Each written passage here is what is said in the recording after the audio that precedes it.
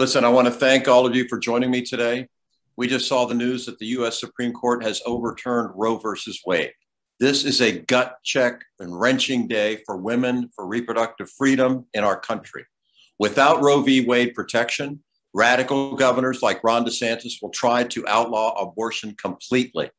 Make no mistake, Governor Ron DeSantis is not on the side of women and reproductive freedom. Now more than ever, we need to fight tirelessly to protect the right to choose against this governor's forthcoming attacks. The stakes in this election could not be higher. I believe in a woman's freedom to choose.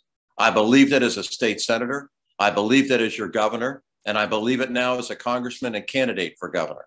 That is why I am the only candidate running for governor of Florida who has proposed concrete steps to protect a woman's right to choose. On my first day in office, I will sign an executive order using the full weight of the governor's office to fight for and defend the right to choose.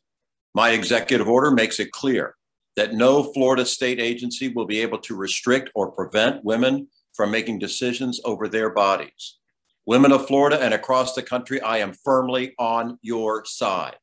And once elected governor, I'll do whatever it takes to protect your right to make decisions about your body. The time to fight on behalf of all women is right now. And I'm proud to be your ally in this fight. Thank you very much.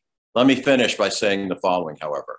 I am the only candidate in this race for governor who has already vetoed an anti abortion bill.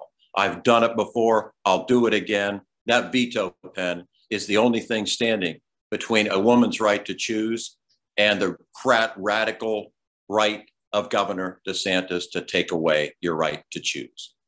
Thank you.